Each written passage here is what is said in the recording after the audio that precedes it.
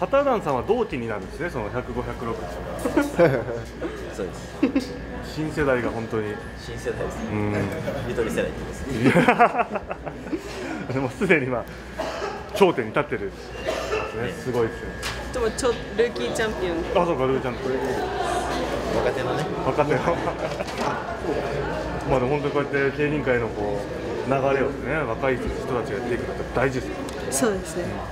いよいよ今年もまだココレクション、はい。ままた新たな戦いというか、はい。うん、去年が、まあ、全部取るというところ、えー少しちょっと一つでしたけど今年はどうでしょう？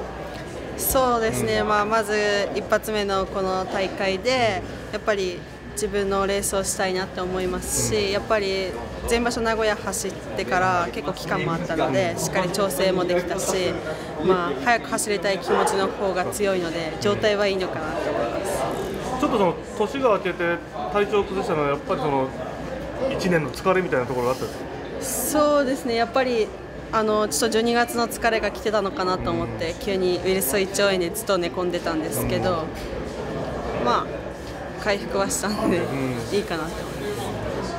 やっぱり本当に去年の12月の戦いっていうのはもう死に物狂いっていうんですかね。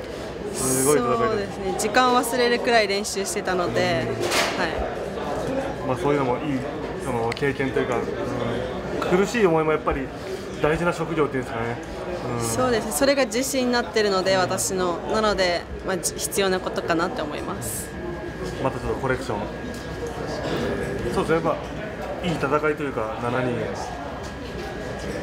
やっぱりレベルも上がってるなっていう感じありますそうですね。やっぱり特に今回残っている7人に関しては、まあ、ほとんど変わらないずっと7人ですしやっぱり、まあ、レベルも上がっているなとは感じるんですけど、まあ、自分ももっともっとやっていかないといけないなっていうのがあるしやっぱり目標があるのでここで止まってちゃだめだなっていう部分が自分には大きいです。じゃあまずは今年の一発目をしっかりそうです決められるね頑張りますありがとうございました。